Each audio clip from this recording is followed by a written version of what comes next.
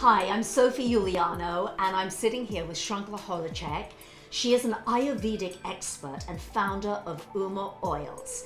Now, I want to just tell you a little bit about how I found Shrankhla. So, I have been using essential oils for over 25 years and loving them and incorporating them in my life, but I've never been compelled to work with any single company, never had any interest whatsoever until I met Shrankhla. So I was introduced to Shrankhla about six months ago uh, via a friend, and we sat and had lunch, and I really didn't know what to expect. And we chatted, and first off, Shrankhla, tell tell everybody what you told me about your history because that was very interesting to me. Certainly. So my family, as you know, Sophie, has formed organic essential oils for generations. It has been a family tradition and heritage, and we have had one of the biggest completely vertically integrated farm to bottle essential oil manufacturing processes. We supply to the biggest prestige beauty brands in the world, and Uma was our foray into taking that purity directly to the consumer.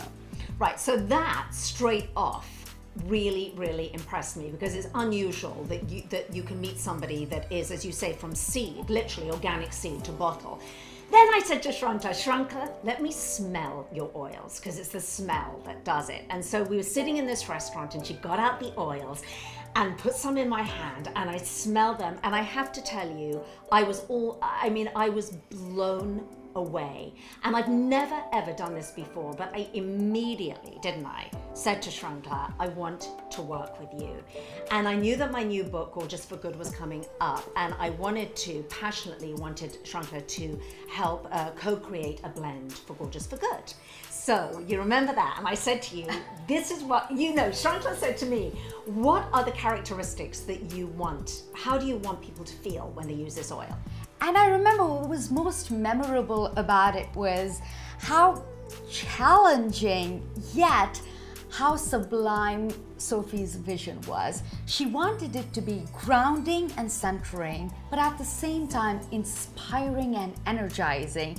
And while that would seem counterintuitive to most, knowing what I knew of essential oils, I knew how possible that was and how excited I was at the prospect of creating something this magnificent. So we went back and forth and Shrankhla to India. Literally, she went to India because we couldn't get it quite right at first, all these little sample bottles. And then she came back just, uh, we, I was doing an event in New York and she bought the final bottle that she had gone and, and actually put together.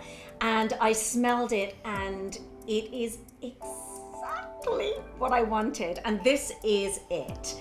It is uh, in this beautiful pink silk pouch. It is the Gorgeous for Good Wellness Oil. It is a therapeutic oil and that you apply to your skin.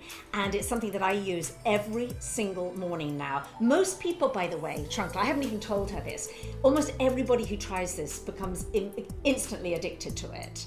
Did you know that? I could have imagined, but it's gratifying I travel with it. It goes everywhere with me, and I use it for my little morning meditation because when I put it on, in the morning, it helps me to become still. It helps me to become centered, and it helps me to create that in inspiring intention for every single day. And I'm absolutely thrilled and honored from my heart to work with you, to have found you, and to bring this absolutely beautiful oil uh, to the world to, to, share with you too. So thank you very much, uh, Thank you for the opportunity. And I'm going to put some on now.